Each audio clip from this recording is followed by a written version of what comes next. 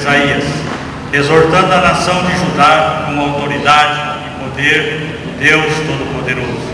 Mais tarde, no final de sua vida, Isaías se deleitou com esta profecia sobre a surpreendente história da redenção de Deus, a história do nascimento do Messias.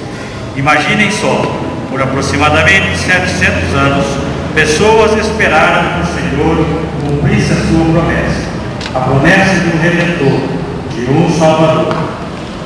E ele será chamado Emanuel, disse Isaías ao povo, Emanuel, Deus conosco.